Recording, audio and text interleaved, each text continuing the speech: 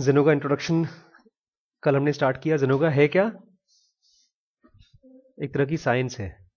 इस साइंस से क्या होगा? हमारे, हमारा अपना प्रोग्रेस होगा। ये किस तरह का प्रोग्रेस है? ये मेंटल प्रोग्रेस है। और जो लोग जेनोगा नहीं करते हैं, क्या उनका प्रोग्रेस होगा? हाँ उनका भी होगा, लेकिन उनको बहुत बहुत बहुत जन्म लग जाएँगे। वही प्रोग्रेस हमारी जल्दी हो जाएगी। हम्म? कुछ कुछ ही सालों में कुछ ही सालों में हो जाएगा। जनोगा हमको सिखाता ये है, सिखाता है how to concentrate our mind by understanding deeper the structures of various parts of the mind and their functions ये ऐसा ही है, जैसे आपको कंप्यूटर के अलग अलग पार्ट्स का मतलब मालूम पड़ जाए। अलग अलग ड्राइव्स का मतलब मालूम पड़ जाए। अलग अलग वेबसाइट्स का मतलब मालूम पड़ जाए। जब मालूम पड़ जाएगा, उसका यूज़ मालूम पड़ जाएगा तो we will be able to use your computer more efficiently similarly अलग अलग portions of the brain and mind अगर इनका स्ट्रक्चर मालूम पड़ जाए, और इनको कैसे यूज़ करते हैं, कैसे ऑपरेट करते हैं, ये मालूम पड़ जाए तो हमारी एफिशिएंसी ब्रेन की बढ़ जाएगी। ठीक है? कल हमने डिस्कस किया कि हमारे यहाँ चार सेक्शन होते हैं। चार सेक्शन में section one and two A एक तरह का है। सेक्शन टू बी थ्री और फोर एक तरह का होता है। इन दोनों के बीच में एक बड़ा सा गैप होता है, उसको हम बोलते हैं नोमैंस लैंड या गल्फ इसको नोमैंस लैंड इसलिए बोलते हैं बिकॉज़ इसमें गुरु या कोई हेल्पर या कोई चमत्कारी शक्ति आपको हेल्प नहीं कर सकती। तो आप जाकर के और अगर आपसे कोई पूछता है कि क्या section two B three four होता है, या आप किसी को बताने की कोशिश करते हैं कि हाँ ऐसा ऐसा होता है इंट्यूशन मेडिटेशन कॉन्सेंट्रेशन ये सब चीज़ें पॉसिबल हैं तो आपकी कोई विश्वास नहीं करेगा। और आप इसमें टाइम वेस्ट मत करिएगा किसी को विश्वास कराने में। क्योंकि ये इतना, उसका स्ट्रक्चर और उसकी फंक्शनिंग इतनी अलग है कि आप उनको समझाते रह जाएँगे, लोग कन्विंस नहीं होंगे। ठीक है? अब इन चार सेक्शंस में सेवन सेंटर्स डिस्ट्रीब्यूटेड है। पहले सेक्शन में है I centre E centre S centre और M centre second section two B में है इंट्यूशन सेंटर थर्ड में है पैरामेंटल सेंटर और फोर्थ में है ट्रांसेंडेंटल सेंटर ठीक है? आज थोड़ा सा हम लोग आई ई एस एम इन सेंटर्स के बारे में समझेंगे। ये हैं क्या? I centre stand for integrity और इंटेलेक्चुअल और इंट्रोस्पेक्शन इंटीग्रिटी इंटेलेक्चुअल और इंट्रोस्पेक्शन इंट्रोस्पेक्शन मतलब अपने अंदर झाँक कर देखने की कोशिश करना। इसलिए नहीं, क्योंकि पापा बोल रहे हैं, अरे, अपने गिरेबार में झाँक के देख। शर्म नहीं आती तेरे को? इसलिए नहीं। या आपने होमवर्क नहीं किया टीचर आपको खड़ा करके बोलते, देखो, इसको देखो और तुमको देखो। ये झांकना नहीं होता।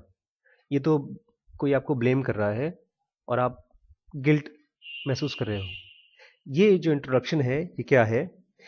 I centre means rational reflection consciously and conscientiously done ये आप रैशनल मतलब समझदारी, जैसे आप खान अकेडमी में मैथ्स करते हो या फ़िल्म देखते हो। फ़िल्म देखने के बाद आपको कोई बोलता नहीं है कि ये फ़िल्म अच्छी थी कि खराब थी। आप कॉन्शियसली और कॉन्शिट्यूसली ये सोचने की कोशिश करते हो कि ये फ़िल्म अच्छी है कि नहीं। एफर्ट भी नहीं लगता। सिस्टम वन का काम होता है। और कभी कभी सिस्टम टू का भी काम होता है। कुछ बहुत ही अच्छी पिक्चर है तो आपको दिमाग भी लगाना पड़ता है उसमें। बट फाइनली आप डिसाइड करते हैं कि ये अच्छा एक्टिविटी था कि नहीं, या खराब एक्टिविटी था। तो that is consciously rational introspection reflection कि आप बाद में जाकर के बैठ के देखें कि यार फॉर एग्ज़ाम्पल आप यहाँ से जा रहे हैं, दो महीने हो गए, तीन महीने हो गए, और पेरेंट्स पूछते हैं कि यार, वहाँ जाते हो सर के पास कुछ फ़ायदा वायदा होता है? तो इस क्वेश्चन पे आप तुरंत हाँ बोलने से पहले बोले, आप रुकिए, मैं कल तक सोच के बताता हूँ। या किसी ने आपको बोल दिया कि अच्छा आप अपने सारे तीन महीने के अंदर में जो भी एक्सपीरियंसेस आपके हुए हैं, अच्छे या बुरे उसको ट्राई करिए जॉट डाउन करना, लिख करके लाइए। तो आप उसको रैशनली सोचेंगे, इसमें अच्छे अच्छे एक्सपीरियंस क्या थे, खराब क्या था। तो इसको बोलते हैं आई सेंटर एक्टिविटी इसका डेफिनेशन है। It's M I centres M is knowledge through a balanced mind as well as a decision arising there from एक समझदार दिमाग से डिसीज़न लेना। नॉलेज लेना उसके बाद डिसीज़न लेना। जैसे मैंने आपको बोला आप आ, आ गए। मैंने अर्पण को भी बोला आने के लिए अर्पण नहीं आए। तो उन्होंने नॉलेज और डिसीज़न आई सेंटर से नहीं लिया। कहाँ से लिया? अलग सेंटर से लिया। अभी डिस्कस करेंगे। This centre as we call it is is known in Sanskrit as इहा उसको संस्कृत में क्या बोलते हैं? इहा और उसका एग्जैक्ट मतलब होता है अ विल टू नो छोटा बच्चा होता है, एकदम छोटा बच्चा। वो खोदेड़ता रहता है हर चीज़ों को छोटी छोटी चीज़ों को। दो कारण से, एक तो उसकी उंगलियों को रिफ्लेक्स होती हैं। रिफ्लेक्स मतलब मसल्स और नर्व्स ये सब चीज़ ग्रो करना चाहती हैं। तो जब उसमें एक्टिविटी रहेगी, तब वो ग्रो करेंगे। तो एक तो उंगलियों को फिडल करने के लिए। और दूसरा, उसको इच्छा है जानने के लिए। इसलिए छोटे बच्चे बहुत क्वेश्चन पूछते हैं, क्यों? कैसे? शीश बार बार पूछता रहता है, ऐसा क्यों है? ऐसा ऐसा कैसे होता है? ये क्यों बोल रहा है? वो क्यों बोल रहा है? तो ये क्यों है? इट इज़ बिकॉज़ ऑफ़ इहा। या तो अ विल टू नो हमारे ब्रेन में एक खास सेंटर है जो जानना चाहता है हर चीज़ को। Meaning the conscious and programmed analysis हर चीज़ का प्रोग्राम्ड एनालिसिस करता है। Undertaken with view to acquire exact और integer knowledge of a thing maths में इंटीजर होता है ना? Integer number integer. 1.1 इंटीजर है कि नहीं? वन इंटीजर है। 1.1 डिसिमल है। इंटीजर मतलब होल कंप्लीट अधूरा नहीं। तो आई सेंटर जो काम करता है it wants to know complete thing integer integer knowledge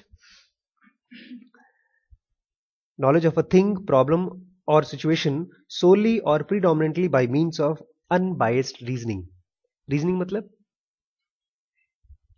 तर्क. A is equal to B B is equal to C so A is equal to C ये तर्क है। आपका सारा मैथमेटिक्स रीजनिंग है। आपकी most of the science reasoning है। Unbiased reasoning क्या होता है? बायस्ड वर्ड बहुत बार आएगा। अनबायस्ड रीजनिंग होता है पक्षपात के बिना रीजनिंग जैसे अगर आप अर्पण को या निशान को पूछें कि क्या सर के यहाँ जाना अच्छा लगता है, वो सीधे मना कर देंगे। सोचेंगे, विचारेंगे नहीं। ये बायस्ड रीजनिंग है। बायस्ड रीजनिंग मतलब यार वहाँ जाकर के सर बोर करते हैं। अगर आप उनसे पूछें कि सर क्या पढ़ाते हैं, मुझे नहीं पता। अगर वो उन शब्दों को, इन इंसाइट्स को बताएँ और ये जस्टिफाई करें कि ये तो सब जगह सुनते रहते हैं तब उसको बोलें कि गलत है, तब शायद वो अनबायस्ड रीजनिंग हो। लेकिन अगर ऐसे ही इनकार कर दिया, क्यों? मुझे कहीं और जाना है। कुछ और चीज़ पसंद है, उसके लिए इसको नकार दें। जैसे शादी के टाइम लड़कियाँ अगर किसी और से अफेयर करते हैं, लड़के लड़की अफेयर में रहते हैं तो जो लड़का आता है देख, देखने के लिए, उसको मना कर देंगे। क्यों? उसकी शक्ल ठीक नहीं है। वो लंबा है, वो चौड़ा है, काला है, सफ़ेद। लेकिन एक्चुअली क्या है? वो बायस्ड है। चक्कर क्या है? क्यों नहीं शादी करना चाहती वो? किसी और को पसंद करती है। लेकिन यहाँ पर जो हमारा आई सेंटर काम करता है, वो अनबायस्ड रीजनिंग है। इसमें कमाल है, पता है? अगर आप एक क्लास में बैठे हैं और टीचर ने आपके साथ कोई जाति की और उसमें आपकी भी थोड़ी बहुत गलती है, चाहे किसी और को पता हो, चाहे ना पता हो, आपके दिमाग को मालूम होगा कि मेरी गलती है। इसी को बोलते हैं अनबायस्ड रीजनिंग जबकि ई सेंटर में जब पहुँचेंगे आप तब देखेंगे वो आपकी गलती को छुपा ही देगा। बट आई सेंटर खट खट खट खट करके आपको बताता रहेगा कि यहाँ पर आपकी गलती थी यहाँ पर उसकी गलती थी यहाँ पर इसकी गलती थी और इसको ऐसे से ठीक कर सकते so unbiased reasoning this centre governs all which in yoga और Vedanta falls under the domain of sattva तीन गुण गए कहे, कहे गए हैं गीता में। भगवान कृष्ण ने तीन गुण बताए हैं। सत्व रजस और तमस। तो उसमें जो सबसे प्योर गुण माना गया है, उसको बोला गया है सत्व गुण वो आई सेंटर की एक्टिविटी है। ठीक है? यहाँ पर सत्व से सत्य मत समझिएगा। ट्रुथ। सच बोलना चाहिए, ऐसा नहीं है। यहाँ पर सत्व से समझिएगा काइंड ऑफ़ लाइट लाइट क्यों? जब लाइट जलती है तो हर चीज़ दिख जाती है। ऐसे ही आपके ब्रेन में जब आई सेंटर एक्टिविटी करती है तो आपको मालूम पड़ना शुरू हो जाता है। आप देखेंगे, जैसे मैं आजकल जो बुक लिख रहा हूँ, जब मैं रात को लिखने जाता हूँ तो जब वर्ड्स लिखता हूँ तो और उसको किसी को पढ़ाता हूँ तो उसमें ढेर सारी स्पेलिंग मिस्टेक्स होती हैं ग्रामर मिस्टेक्स होती हैं, और अगर मिस्टेक्स ना हो, फिर भी कंफ्यूजिंग होती हैं सिंपल नहीं होती हैं। लेकिन वही चीज़ जब मैं सुबह सुबह लिखता हूँ तो बहुत सिंपल होता है और कम मिस्टेक्स होती हैं। क्यों? बिकॉज़ सुबह के टाइम आपका आई सेंटर ज़्यादा काम करता है। प्रोवाइडेड आपको ज़बरदस्ती उठाया ना गया हो। तो ये आई सेंटर है। I centre is that hypothetical spot in the brain which consciously commands reason and guides our thinking छोटा सा डेफिनेशन है। आई सेंटर हमारे ब्रेन में वो हाइपोथेटिकल स्पॉट है। अगर कोई पूछता है हाइपोथेटिकल मतलब? बोले, भैया, अगर खोपड़ी तोड़ोगे, निकालोगे तो आई सेंटर में निकाल नहीं पाऊँगा कि यहाँ पर है। वो पूरे ब्रेन में डिस्पर्स्ड है। सब जगह पर है। जैसे सेल्स सब जगह होते हैं ऐसे ही पूरे ब्रेन में अलग अलग जगहों पर है। और वो करता क्या है? रीजन तर्क करता है और हमको, हमारी थिंकिंग को गाइड करता है। क्लियर यह है आई सेंटर तो अगर एक सेंटेंस में पूछा आई सेंटर क्या है? आई सेंटर मतलब सही सही जानकारी और वहाँ से निकले हुए डिसीज़न ठीक है? अब E centre E centre is evocative of emotion evocative मतलब पैदा करने वाला, जगाने वाला। द फोकस और the point to which an emotion keeps all attention divided ये हमारे ब्रेन में वो जगह है जहाँ पर हमारा सारा अटेंशन खींच के लाया जाता है। अपने आप ही ले आता है ये। द एबिलिटी और propensity of emotions to corner और divert attention to themselves E centre वो सेंटर है जिसके अंदर है एबिलिटी खींचने की या हटाने की। हमारा कंसंट्रेशन किसी भी इमोशन से, या किसी भी इमोशन से के नज़दीक या दूर। वही बोल रहा है एबिलिटी टू कॉर्नर एक जगह इकट्ठा करना, या डाइवर्ट कि आप पढ़ाई कर रहे हैं बोरिंग पेज आ गया तो आपका दिमाग डाइवर्ट हो जाएगा। वो कौन करता है? ई e सेंटर करता है। और उसी में अचानक कहीं से कोई इंटरेस्टिंग चीज़ आ गया तो आपका माइंड कॉर्नर हो जाएगा। That is E centre it is that hypothetical spot in the brain if ये भी हाइपोथेटिकल है, अगर आप खो खोजेंगे तो एक जगह नहीं मिलेगा, बहुत जगहों पर मिलेगा। Brain which arouses all spontaneous feelings सारे स्पॉन्टेनियस फीलिंग्स आते हैं इसमें। अचानक से आपको पता भी नहीं चलेगा, मेरे अंदर फीलिंग थी। अचानक से मुस्कुराना शुरू कर देंगे। क्या हुआ? कुछ नहीं, बहुत खुश हैं आज हम। ये कहाँ से आता है? ई e सेंटर से। Spontaneous and even unnoticed semi conscious reactions of our feelings और बहुत से तो हमारे ऐसे रिएक्शंस होते हैं इमोशनल जो हमको भी नहीं पता होते हमारे अंदर है। जैसे आप बात करते करते अगर इस तरफ़ देख रहे हैं तो उसका अलग अलग इमोशन होता है आपके अंदर में अगर आप इस तरफ़ देख रहे हैं तो उसका अलग इमोशन होता है। एक का मतलब है आप झूठ बोल रहे हैं, एक का मतलब है तो सच बोल रहे हैं। सच में।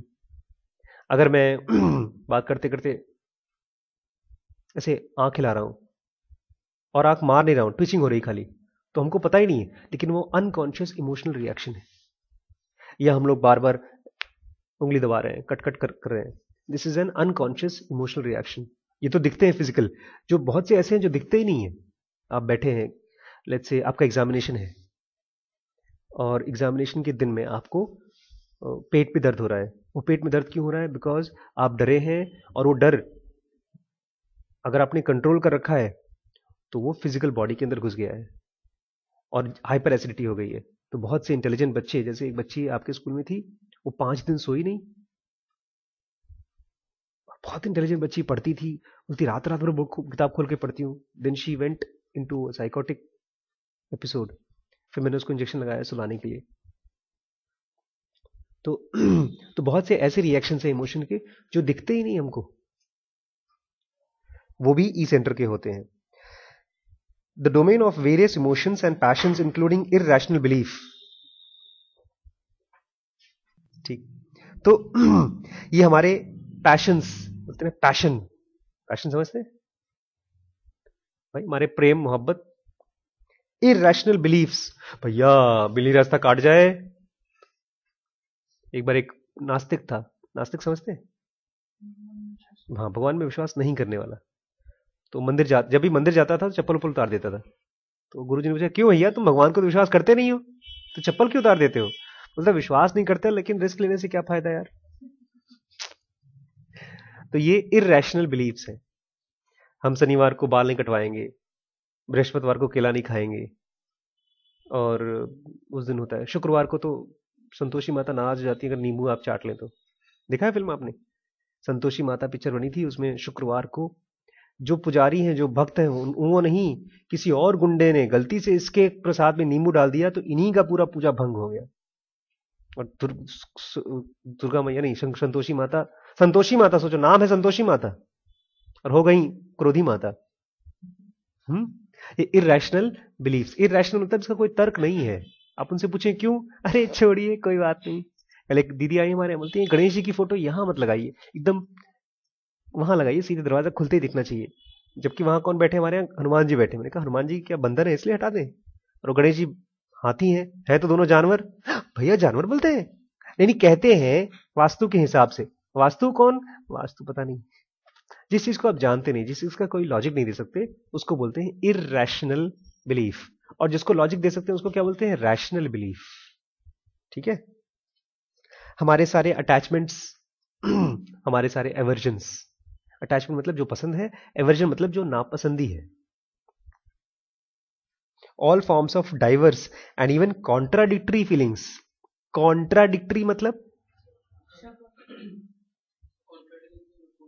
हाँ हमारे मन में, मैं इसको पसंद तो करता हूँ, लेकिन ये बहुत खराब लड़का है। एक ही एक ही सेंटेंस में पसंद भी कर लिया और खराब भी बोल दिया। ये कॉन्ट्राडिक्टरी चीज़ें तुम, यार, शक्ल तो अच्छी है, लेकिन तुम पढ़ते पढ़ते नहीं हो। तो दोनों, दो अलग अलग ऑपोजिट फीलिंग्स जब एक साथ आती हैं, उसको बोलते हैं कॉन्ट्राडिक्टरी फीलिंग्स ये भी हमारे ई सेंटर में होती हैं।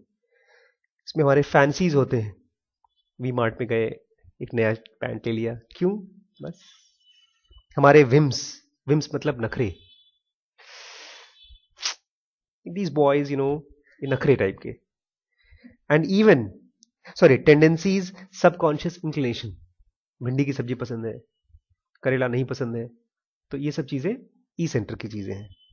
All decision not carefully debated हमारे वो सारे डिसीज़न जो हमने केयरफुली डिबेट नहीं किए होते डिबेट मतलब? बातचीत।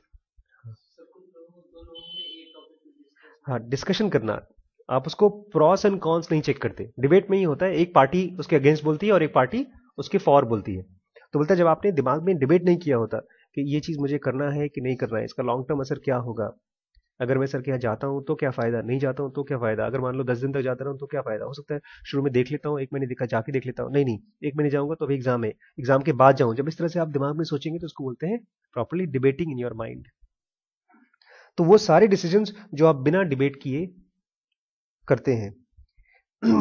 All on the spur of the moment decision spur of the moment मतलब आप यहाँ से गए वी मार्ट वी मार्ट में आपका दोस्त मिल गया, उसकी बाइक में पेट्रोल भरी हुई है। तो चलो यार, चलते हैं। कहा? कौन सी नदी है? शारदा नगर चलो चलो शिवम में चल, चलो। क्यों? मौसम अच्छा है यार। ये स्पर ऑफ़ द मोमेंट जैसे जो बच्चे आपके यहाँ सस्पेंड हुए थे ओएल वाले, उनको पूछा मैंने, तुमने कुछ प्लान किया था? बस नहीं सर हम प्लान प्लान नहीं करते ज़िंदगी में। जो मन में आया वो कर देते हैं, बस। इसको बोलते हैं spur of the moment decision spur मतलब तुरंत। हम ऐसे करते हैं डिसीज़न सोचते समझते नहीं है। कौन सा पिक्चर थे वो बोलता है, मैं जब एक बार डिसीज़न ले लेता हूँ, मैं अपनी खुद की नहीं सुनता हूँ। हाँ। वांटेड पिक्चर में तो ये ई सेंटर आदमी ये आई सेंटर वाला आदमी नहीं है। जब तुम खुद ही को रोक नहीं पा रहे हो तो तुम क्या समझदार हो? लेटर डिसीज़न लेटर रिग्रेटेड और जो बाद में आप रिग्रेट करेंगे. And one knew that in all probability they would be later regretted और हम जानते थे कि बाद में रिग्रेट करेंगे. इसके चांसेस हैं. लेकिन फिर भी सोचते हैं, चलो बात की बाद में देखी जाएगी यार. अभी तो मज़ा कर लो. All general unexplained and even unexplainable likes and dislikes हमारी सारी लाइक्स और सारी डिसलाइक्स ई सेंटर की होती है. This centre governs all which in yoga falls under the heading of rajas rajas guna represents E centre ठीक? Activity activity begun or continued on initiative of one or more emotions उस ई centre देखा जाए तो अगर आप एक sentence में पूछे क्या है, बोलिए वो एक्टिविटी है जो हमारे इमोशन से पैदा हुई आप फेसबुक क्लिक कर रहे हैं, ठक ठक ठक ठक। जो रुके आप, कि आई सेंटर नहीं है, ई सेंटर जो भी एक्टिविटी हमारे इमोशन से निकल के आता है। The centre as it as we call it in Sanskrit is known as इकायान उसको क्या बोलते हैं संस्कृत में?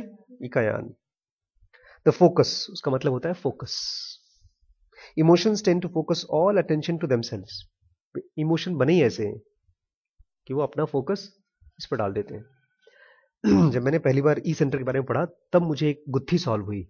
बचपन की गुत्थी थी, जो बहुत से लोगों से मैंने पूछा था, सब ऐसे टाल जाते थे। राम, रामायण में विश्वामित्र थे। और चौदह साल की उम्र में, राम को और लक्ष्मण को दशरथ से मांग के लेकर चले गए थे। बोल रहे थे कि हम अपने साथ ले जाएँगे इनको, शादी से पहले। बच्चे थे उस समय।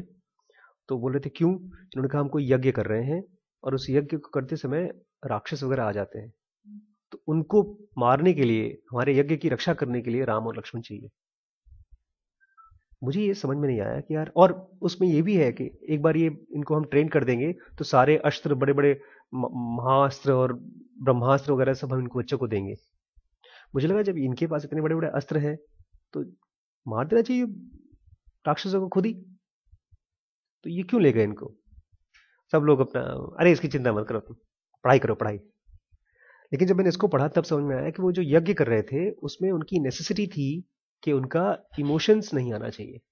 They must be doing some kind of meditation और मेडिटेशन डिस्टर्ब हो जाएगा अगर आपका इमोशंस आ जाएगा।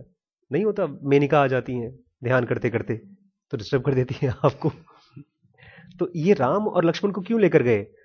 क्योंकि राक्षसों को मारने के लिए, किसी से भी लड़ाई करने के लिए थोड़ा सा गुस्सा चाहिए आपको। ऐसा नहीं कर सकते प्यार से, बेटा, खंजर लेकर काट दिया गला। कोल्ड ब्लडेड खूनी बड़े मुश्किल से मिलते हैं। शायद इसीलिए लेकर गए होंगे कि वो इमोशंस को ट्रिगर नहीं करना चाहते होंगे या इमोशनल यज्ञ कर रहे होंगे कोई। वो ऐसा हवन वाला यज्ञ नहीं रहा होगा ये। ये तो हो गया ई सेंटर ठीक है?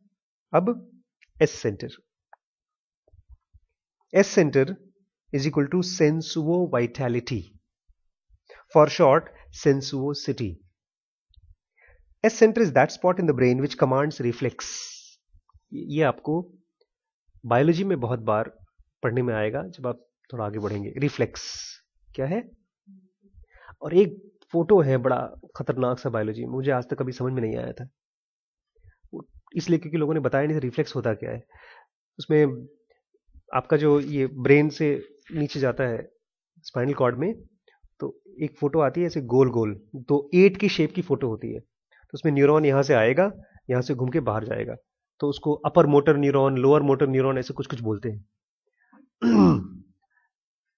इस पूरी कहानी का मतलब यह है कि ऐसी एक्टिविटीज़ जिसका आपके जिसके ऊपर आपका कोई कंट्रोल नहीं है। रिफ्लेक्स मतलब ऐसी एक्टिविटी जिस पर आपका कोई कंट्रोल नहीं है। फॉर एग्ज़ाम्पल इसको हाँ? कंट्रोल है? पक्का? हाँ? चलिए ठीक है। गुदगुदी एक तरह का रिफ्लेक्स है। या जैसे हम लोगों के पास डॉक्टर्स लोग चेक करते हैं नी रिफ्लेक्स घुटनों पर हथौड़ा मारेंगे हम तो घुटना थोड़ा सा ऊपर जाता है। अपने आप ही ऊपर जाता है। या जब पेशेंट बहुत सीरियस होता है कोमा में होता है तो हम ये चेक करना चाहते हैं कि कोमा में कितनी गहराई से गया है। तो एक होता है प्यूपिलरी डायलिटेशन रिफ्लेक्स तो आँख खोलते हैं, टॉर्च लगाते हैं तो जो आँखों के अंदर पुतलियाँ होती हैं, टॉर्च लगाने पर अगर सिकुड़ जाती हैं। इसका मतलब पेशेंट अभी भी उम्मीद है, वापस आ जाएगा। और अगर आपने टॉर्च दिखाया और डायलेटेड है पीपल इसका मतलब अब पेशेंट बहुत नज़दीक नहीं। और ये चीज़ पेशेंट जानबूझ के नहीं करता, वो तो कोमा में है। तो रिफ्लेक्स मतलब होता है जो चीज़ आप जानबूझ के नहीं करते हैं। तो ये जो जानबूझ के नहीं करते हैं, ये हमारा कौन सा सेंटर करवाता है? S centre reflex movements subconscious impulsive acts also called motor movement और रिएक्शन इसमें हमारे मोटर मूवमेंट्स बॉडी के जितने भी मूवमेंट्स हैं मोटर मतलब movements arising from concealed memory of man's evolutionary past आदमी की एवोल्यूशनरी पास्ट क्या है? आदमी पाँच हज़ार या पंद्रह हज़ार या पचास हज़ार साल पहले क्या था? एप. तो हम जो जानवर हमारे बॉडी के अंदर है, वहाँ से निकली हुई एक्टिविटी वो है S centre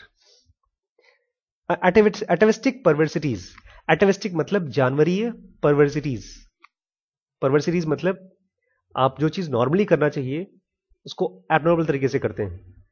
for example biology में, या सभी जानवरों में मेल और फीमेल में रिलेशनशिप होता है. लेकिन हमारे यहाँ खाली ह्यूमन बीइंग में और शायद एक एक और जानवर में कहते हैं कैमल में होमोसेक्सुअलिटी भी आ गया है कि मेल और मेल में सेक्स करते हैं। तो इट इज़ अ परवर्सिटी क्या है ये? परवर्सिटी और रिफ्लेक्स कंडीशन फ्रॉम देम या उनमें से निकली हुई रिफ्लेक्सेस जैसे हमारे यहाँ फोरेंसिक मेडिसिन में ढेर सारी बीमारियाँ हैं सेक्स से रिलेटेड बहुत से ऐसे क्रिमिनल्स हैं जो डेड बॉडी के साथ सेक्स करना पसंद करते हैं। बहुत से ऐसे क्रिमिनल्स हैं जो अपने आप को पिटवाना पसंद करते हैं। उसको बोलते हैं हम्म, एक होता है सोडोजम और एक होता है उसका नाम नहीं याद मैं बताऊँगा बाद में। इसमें अपने आप को ही पीटना पसंद करता है आदमी। तो ये परवर्सिटीज है कि नॉर्मल से हट के रिफ्लेक्स बन गया उसको। This region favours decision made not only against one's better judgment but also against one's own natural likes and dislikes ये सेंटर खाली आपका जजमेंट मतलब आई सेंटर के खिलाफ काम नहीं करता। ये आपके लाइक्स और डिसलाइक्स के खिलाफ भी काम करता है। आप पसंद नहीं करते हो फ़िल्म देखना, फिर भी बहुत बार आप देखोगे। स्मोकिंग आप अगर करते हो और आपको गले में खांसी हो रही है उससे, फिर भी आप एक बार आदत पड़ गई तो आप करते रहोगे करते रहोगे।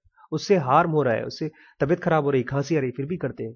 So it is something which work against not only your I centre judgment आपका जजमेंट कहता है, दिमाग कहता है कि नहीं गलत है, और आप उसको पसंद भी नहीं करते, फिर भी करते हैं आप।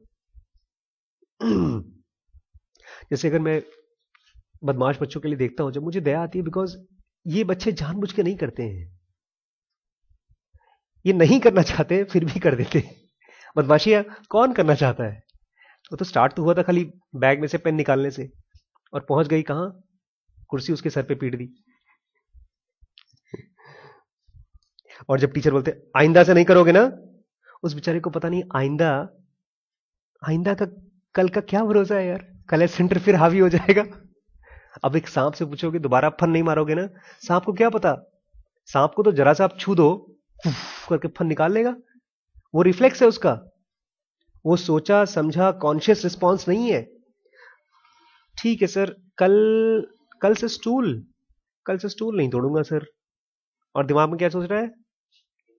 हाँ एग्जैक्टली टेबल तोड़ दूँगा। बोलता है decisions as if forced upon one ये डिसीजंस ऐसे हैं जैसे, सर, मुझे, मैं करना नहीं चाहता मेरे ऊपर किसी ने फोर्स कर दिया. I was driven to it मुझे धक्का लेकर, देकर पहुँचा दिया गया। ड्राइव्स बॉन्ड आउट ऑफ़ इनसैटिएबल थर्स्ट कुछ ऐसी प्यास है हमारी बॉडी में जो पूरी नहीं होती, जैसे ड्रग्स सेक्स एडिक्शन इनमें से जो प्यास निकली हुई है, उसको हम बोलते हैं एस सेंटर की डिमांड। ऑल अनकंट्रोलेबल अर्ज़ सारी ऐसी अर्ज़ डिज़ायर जिसको हम कंट्रोल नहीं कर पाते।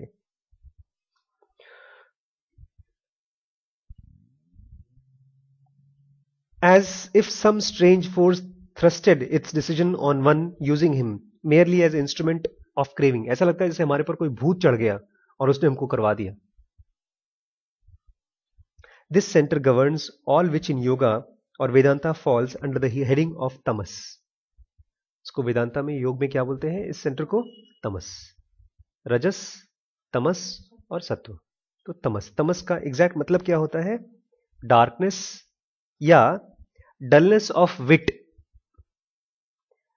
स्टूपिडिटी और एब्सेंस ऑफ़ इंटेलिजेंस एनर्जी है, लेकिन इंटेलिजेंस से फ्री एनर्जी जैसे एक गाड़ी आप चालू करके छोड़ दीजिए रोड पर, एक बड़े से मैदान में छोड़ दीजिए गाड़ी और उस पर कोई पत्थर रख दीजिए एक्सीटर पे तो चलती जाए। अब वो पत्थर इधर उधर गिरेगा इनबैलेंस होगा तो यहाँ वहाँ घूमेगा। तो चल रही है गाड़ी, लेकिन यहाँ वहाँ चल रही है। लेकिन उसी में अगर ड्राइवर बैठा है तो गाड़ी रिदम से चलेगी। तो ऐसे ही एस सेंटर का मतलब है energy but without intelligence clear in Sanskrit the word sat means being सत्य जो होता है, उसका मतलब होता है जीव, या तो being yet also vitality as characteristic of being लेकिन उस बींग के अंदर, उस सत्य के अंदर में एनर्जी भी होती है। Vitality as a potential energy of being vitality as asleep और hidden in every being thus in every being human being there is untold reservoir of vitality vital energy untapped and shutter depicts vitality divorced from reason and avoid of feeling तो हर जीव में, हर समझदार बंदे में कुछ energy होती है। लेकिन एस सेंटर का प्योर एस सेंटर का मतलब होता है, उस जीव में एनर्जी है, उस सेंटर में एनर्जी है, बुद्धि नहीं है। ठीक? अब लास्ट है एम सेंटर इन चारों में से। M centre means mobility of muscular and assorted movement for the mobile execution of decisions for short mobility मतलब आपके मसल्स और आपके थॉट्स और आपकी फीलिंग्स इन सब का मूवमेंट कराना। जब आपका आई ई और एस सेंटर ने अपने दिमाग में एक दूसरे से बात कर ली और उसके बाद डिसीज़न किया कि ये होना है तो डिसीज़न को पूरा करने वाला कौन कराता है? एम सेंटर तो M centre means that spot in the brain which combines aforementioned thoughts feelings and reflex तो एम सेंटर करता क्या है? कंबाइंड करता है थॉट्स को फीलिंग्स को और रिफ्लेक्स को। तो कंबाइन करके मिक्सचर करके, उसके बाद आपसे एक decision दिलवाएगा। It is like a mathematician it counts and reads the varying intensity in the first three centres either totalling up the sum of rotating units of vibration in the intensities if they all be positive one kind बोलता है, ये बड़े खास तरीके से add करता है कि अगर आई ई e और एस में एक ही तरह का वाइब्रेशन है let's say plus one plus two plus four तो सबको टोटल कर देगा। कितना बना देगा? Plus one plus two plus four कितना हो गया? प्लस सेवन अगर minus one minus two minus six तो माइनस सेवन हो जाएगा। तो एक ही तरह का होगा तो माइनस कर देगा। It favours the side having the highest score of the vibration be plus or minus it always favours the winning side and that too in the most unique way लेकिन अगर ये दोनों डिफरेंट है I centre plus में है E e centre और S centre minus में है, तब ये कैसे ऐड करता है? तब नॉर्मल मैथमेटिकल्स के रूल रूल अप्लाई नहीं करते इसमें। कि ये प्लस ये माइनस है और ये प्लस है तो माइनस कर दिया। ऐसा नहीं अप्लाई होता इसमें। ये क्या करता है? It transforms the vibration of losing side into those of majority holder कि आई सेंटर दो है plus two E centre minus चार एस सेंटर माइनस आठ। तो जो एक जैसे हैं, उनको तो ऐड कर दिया उसने। माइनस चार, माइनस आठ कितना हो गया? माइनस बारह। और ये प्लस टू तो पहले प्लस टू को चेंज करेगा in the favour of vote बदलवाएगा। भैया तो उनको वोट दे दे। तो प्लस टू जो आई सेंटर है, उसका क्या हो जाएगा? माइनस टू और उसके बाद सबको ऐड करेगा। And then adds them all total it also has a kind of casting vote और अगर टाई हो जाता है तो ये वोट भी देता है। But that is always in the positive side M centre in Sanskrit is known as manas manas और in Latin means mens men जो हमारा नाम पड़ा है, वो इसीलिए पड़ा है क्योंकि हम एम सेंटर है मूवमेंट सेंटर है। M centre centre carries out inter department departmental memos अलग अलग डिपार्टमेंट का मेमो यहाँ से उठाकर वहाँ ले जाना, वहाँ से उठाकर वहाँ। Of and in the mind it signifies mobility as cardinal characteristic of mental operation इसका मेन फ़ंक्शन क्या है? मूवमेंट या मोबिलिटी इसलिए इसको एम सेंटर बोलते हैं। ठीक है? थर्टी फोर मिनट्स और कर ले? अब जो मैं बताने वाला हूँ, ये जब मैंने पढ़ना शुरू, यहाँ तक जब मैंने पढ़ा जनोगा तो मुझे अच्छा लगा, ठीक है। मुझे लगा कि इसके शब्द बड़े अच्छे हैं, बहुत डिटेल बुक है। लेकिन जब, आगे जब मैंने पढ़ा, तब मुझे समझ में आया, आशीष भाई, तुम्हारी नैया पार हो जाएगी। कि उस समय मैं बहुत अच्छा स्टूडेंट नहीं था। कमज़ोर था, पढ़ने में ठीक ठाक था, धक्का मार मार के पापा मम्मी ने पढ़ा दिया था। आगे क्या बताता है? Now before we can proceed to the higher sections we must have a practical exercise for reaching the CCS अब इससे पहले कि हम आपको और हायर सेक्शंस के बारे में बताएँ, और critical certain stage critical certain stage क्या है? वो क्या होता है? जब आप नोमैंस लैंड क्रॉस करेंगे, जब उस पार पहुँचेंगे, जब आपको सेक्शन टू बी थ्री और फोर का थोड़ा सा एक्सपीरियंस मिलना शुरू हो जाएगा that stage is called as critical certain stage और मैंने कहा था, इसको हम लोग कंफ्यूज नहीं करेंगे एनलाइटनमेंट से। हम लोग जब सीसीएस में पहुँचेंगे तो गौतम बुद्धा नानक की तरह जादू नहीं कर पाएँगे, लेकिन हमारा अंदर का एक्सपीरियंस बहुत बदल जाएगा। चीज़ें अचानक आपको समझ में आना शुरू हो जाएँगी कि मेरे आसपास जो प्रॉब्लम थी, क्यों थी? सॉल्व कैसे करें? हम्म? क्या चीज़? लाइक डिसलाइक खाली लाइक डिसलाइक तो अभी मालूम पड़ता है, लेकिन उस समय आपको अपनी प्रॉब्लम्स के सोल्यूशन अपने आप दिखना शुरू हो जाते हैं। और आप उनको कर सकते हैं, जो कंफ्यूजन आज है, वो समय नहीं होती।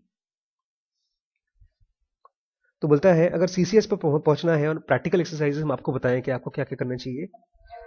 But no practical measure are of any use unless we come to terms with the cardinal problem of the spiritual life or for that matter any kind of serious or purposeful living तो कोई भी तरह की purposeful living कुछ करना चाहते हैं आप लाइफ में, वो काम में नहीं आएगी जब तक आप एक बड़ी सी कार्डिनल प्रॉब्लम लाइफ की, उसको आप आमना सामना नहीं करेंगे।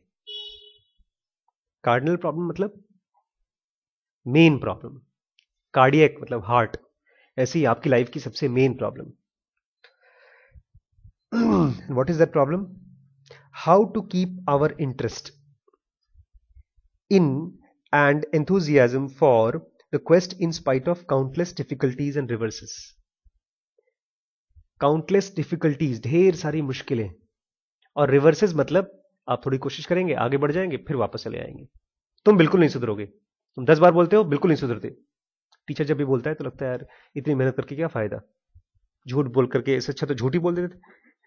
दो दिन सच बोला, कुछ फ़ायदा नहीं हुआ। उसको बोलते हैं रिवर्स तो काउंटलेस डिफिकल्टीज और रिवर्स के बावजूद हम अपना इंटरेस्ट अपने मिशन पर या अपने गोल पर या अपनी खोज पर कैसे कायम रखें?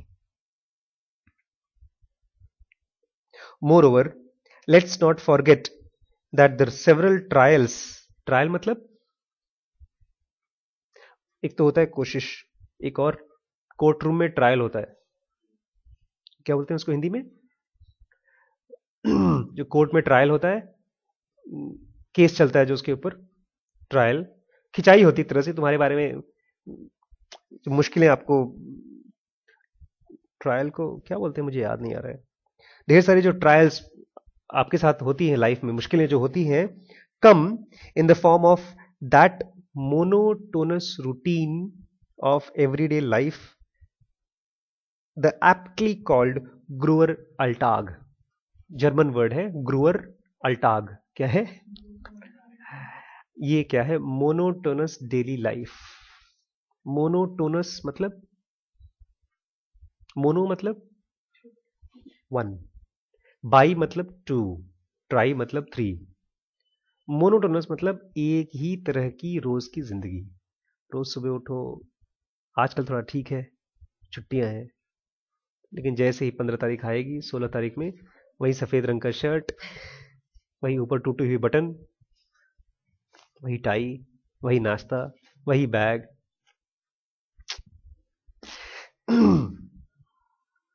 which drains away our strength and enthusiasm यही मोनोटोनस डेली लाइफ क्या करता है? ड्रेन कर देता है हमारी एनर्जी को।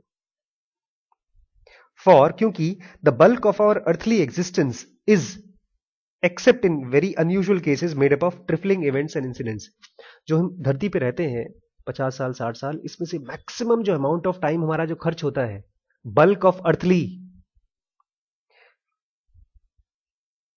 एग्जिस्टेंस कहाँ जाता है, रोज़मर्रा की नहाने में, धोने में, पॉटी करने में, चाय पीने में, खाना खाने में।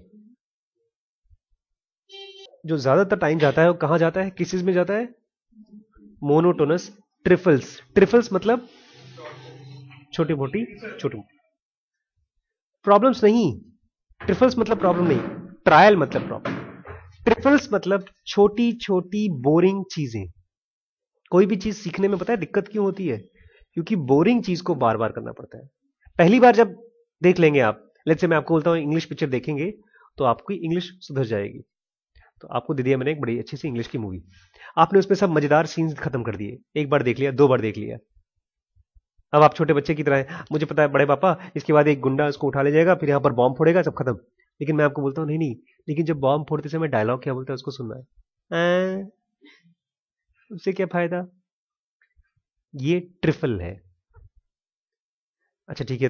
सर, गुड मॉर्निंग सर, कैसे हैं? मैं अच्छा हूँ। थोड़ा इंग्लिश में बोलिए। Sir, good morning sir, how are you? ये ट्रिफल है। मतलब छोटी सी बोरिंग चीज़। भैया का काम बड़ा ट्रिफल वाला काम है। आप पूछ रहे थे ना, खान अकेडमी के वीडियोस आप डाउनलोड कर रहे हैं ढेर सारे। ये करीब पाँच आठ हज़ार वीडियोज़ है डाउनलोड करना। फिर उसको सीडी में बनाना। और एक सीडी नहीं बनाना है हम लोगों को। हम लोगों को करीब एक लाख सीडी बनाने हैं। तो ये बनेगा कम से कम दो साल में, तीन साल में। ये ट्रिफल है। कपड़े धोते हैं आप लोग? नहीं धोते ना? इसलिए आप एक ट्रिफल से बच गए। ब्रश करते हैं, खुद ही करना पड़ता है। डहाना खुद ही करना पड़ता है। बर्तन मांजा है कभी? तो ये ढेर सारे ट्रिफल्स हैं। इसलिए आपकी मम्मी लोगों को ना, घर बड़ा अच्छा लगता है। घूमना बड़ा अच्छा लगता है। आप लोगों को लगता है बाहर घूम के मम्मी क्या लखीमपुर में घूमने को रखा है? लेकिन मम्मी से पूछो बेचारी को। दिन भर जब बर्तन मांजती हैं तो सुबह एक चक्कर, दिन में एक चक्कर शाम को मार आएँगे मार्केट की, उनके लिए वो भी बड़ा मज़ेदार चीज़ है। क्यों? क्योंकि वो घर में बहुत ज़्यादा बोरिंग बोरिंग ट्रिफल्स को जीती हैं। बोलता है even Hollywood heroes and prime ministers spend must considerable portion of the day dressing undressing brushing teeth drinking out of glass and doing other less mentionable course. बड़े बड़े हीरो हैं actors हैं prime minister हैं वो लोग भी रोज उनका maximum time कहाँ खर्च होता है? ब्रश करने में, नहाने में, धोने में, कपड़ा पहनने में etcetera etcetera etcetera great meaning extraordinary events occur but rarely in the life of an average person हम जैसे जो एवरेज लोग हैं, हमारी लाइफ वैसी नहीं है, जिसमें खूब कमाल की चीज़ें हो। इसलिए हम कमाल की चीज़ों वाली फ़िल्में देखते हैं। इंडियाना जोन्स देखिए आपने इंडियाना जोन्स गब्बर सिंह की स्टोरी तो देखी होगी। धर्मेंद्र रिव्यू जेल में से भागते हैं और जाकर गब्बर सिंह को पकड़ते हैं। देखा है? और दोनों उधर दारू पी के छड़ा रहता है ऊपर। ये एक्स्ट्रा ऑर्डनरी चीज़ें हैं। हमारी लाइफ में नहीं होती। इसलिए हम देखते हैं उनको। To to bring forth enthusiasm for great things is almost unavoidable. कोई बहुत महान चीज़ आ रही है तो उसके लिए तो आप अपना एंथुजियाजम रोक ही नहीं सकते। आपने कहा, चालू किया एप्पल का लैपटॉप लाए तेरे पप्पा। देखो तो। पता है एप्पल में खास क्या है? सीडी कैसे पड़ती है? कुछ। कमाल है ना यार। हमारा मुँह भी ऐसे कर लेता है। मुँह में डालो, खाना खच करके नीचे चलाता है। उसमें कमाल नहीं है। एप्पल में कमाल है लेकिन। तो आप कोई ग्रेट चीज़ है उसके लिए तो आप अपना इमोशन रोक ही नहीं सकते। But about maintaining such enthusiasm in the mid of daily grind of routine daily की जो ग्राइंड है पुराने जमाने में, चक्की पीसिंग एंड पीसिंग, कहते घरों में चक्की होता था। आप लोगों को पता नहीं होगा ना? मेरे गाँव के घरों में चक्की है। उसमें औरतें आटा खुद ही पीसती थी और दो दो घंटे तक पीसती रहती थी। अच्छा तो बोलता है, इस तरह की ग्राइंड, डेली ग्राइंड की जो लाइफ की ग्राइंडिंग है, उसमें आप इंथुजियाजम कैसे रखेंगे? देखो, गाँव की औरतों ने गाने बना रखे थे कि चलाते समय गाना गाएँगे। उस ग्राइंड को, अपने आप को एंजॉय करने के लिए।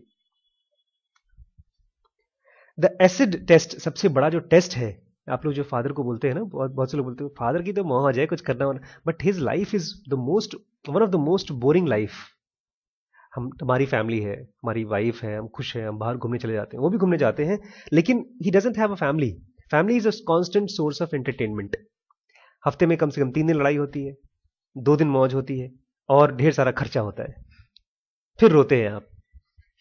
और यहाँ पर फादर तीन हज़ार बच्चों के लिए बोलते हैं, मैं तुम्हारे लिए जी रहा हूँ, मैं तुम्हारे लिए जी रहा हूँ। लेकिन तीन हज़ार बच्चों के लिए आप नाम ही नहीं याद कर सकते, जिएँगे क्या उनके लिए? But he is living a trifle daily trifle acid test किसी भी बिगडर के लिए क्या है? Is sustaining your interest for the quest even in the common details of life कि रोज की जो कॉमन डिटेल्स है, आप उसमें अपना इंटरेस्ट कैसे कायम रखें?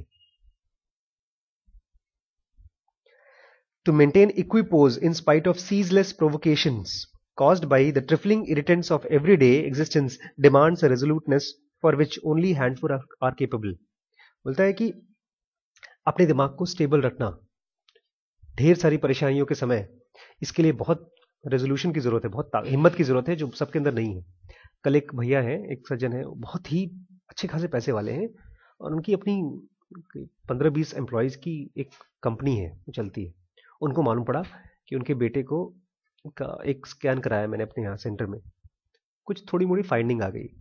वो डॉक्टरी भाषा में लिख दिया हम लोगों ने कि इसमें ये फाइंडिंग आई है। बीमार नहीं हो बट थोड़ी बहुत फाइंडिंग आई। हस्बैंड वाइफ दोनों रोने लगे। मेरे बेटे को क्या हो गया?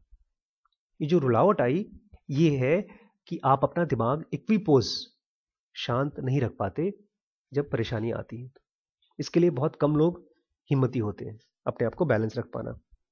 एंड येट और फिर भी the viability of spiritual life और purpose of life is tested in the field of ordinary activities viability मतलब?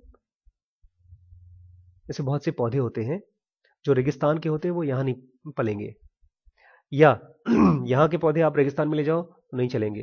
ये तराई बेल्ट है। तराई के बहुत से ऐसे पौधे जो वहाँ तो ये वायबल नहीं है। ठीक है? वायबल मतलब बचेगा कि मरेगा। उसको बोलते हैं वायबिलिटी बोलता है, आपकी वायबिलिटी आपकी पर्पस की वायबिलिटी कि आपका पर्पस बचेगा कि खत्म होगा, ये कहाँ चेक होता है? रोज की ऑर्डनरी एक्टिविटी में। अगर आप ये बोरिंग एक्टिविटी नहीं कर सकते यहाँ पर। खाली आप यही मेंटेन कर लें। मेरे साथ भैया जो काम करते थे, आप लोग नहीं जानते शायद उनको। एक भैया थे, उनका नाम था, उनका नाम है नरेंद्र तो बोलता है, भैया, मैं आपके साथ काम करना चाहता हूँ। मैंने कहा, बेटा, एक ही काम कर तो साल भर तक पहले तो मेरे साथ नौकरी कर ले। मुझे गारंटी है कि तीन चार महीने में तो छोड़ देगा। नहीं भैया, हम ज़िंदगी भर नहीं छोड़ेंगे। तो खैर, तीन महीने नहीं, छह महीने लग गए उसको। फिर एक दिन उसने बोला, बस मेरी यात्रा पूरी हो गई भैया आपके साथ। मैंने सीख लिया जो मुझे सीखना है आपके साथ। मैंने कहा थैंक यू आपने सीख लिया, मैंने भी सीख लिया। तो वायबिलिटी आपका चेक कहाँ होता है? डेली के बोरिंग एक्टिविटीज़ में। जैसे फॉर इंस्टेंस द पेशेंस और लैक ऑफ़ इट कि आपके अंदर कितना पेशेंस है या पेशेंस नहीं है when you are waiting for a bus bus या हम यहाँ पर ऐड कर देते हैं, आप डॉक्टर के पास गए हैं, अपने आप को दिखाने। बहुत से पेशेंट होते हैं, अरे, राम रे, जान बचाओ जान बचाओ और हुआ क्या है, छोटी सी पथरी है कहीं पर, और इंजेक्शन लग चुका है, लेकिन फिर भी। और वहीं पर बहुत से ऐसे पेशेंट होते हैं, उनको कैंसर होता है, लेकिन वो बेचारे पड़े रहते हैं। एक तो औरत आई थी, उसने अपना जाँच वाँच कराया तो डॉक्टर ने देखा, उसको हार्ट में बड़ा सा होल था तो उसने बताया, डॉक्टर साहब, बहुत ज़िंदगी जी लिया, ठीक है, बुढ़ापा है, शांति से मर जाए तो ठीक। तो this is how patient you are और योर लैक ऑफ़ पेशेंस आपने एग्ज़ाम दिया एग्ज़ाम में फेल हो गए। तो रोना is a lack of patience आपको लगता है कि हाय राम, खत्म हो गया। अगर पेशेंट रहेंगे तो बोलेंगे, ठीक है, फिर छह महीने बाद एग्ज़ाम होगा। Without enthusiasm even the spiritual quest will appear tiresome अगर आपके अंदर में एंथुजियाजम नहीं है, ये खान अकेडमी यही कर रहा है, आपके अंदर एंथुजियाजम डाल रहा है। कि पचास किल हो गया तो एक बैच मिल गया।